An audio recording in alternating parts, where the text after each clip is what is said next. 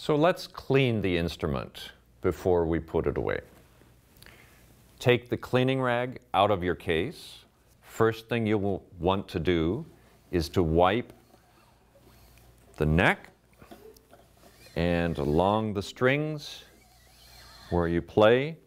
Make sure that you clean the rosin off where the bow touches the strings in front of the bridge. You will also want to clean the rosin that falls down on the top of the instrument. Then set your viola down. Pick up your bow. Take your rag and run it along the stick to clean the rosin dust off of the bow before you put it away. And that's how to clean.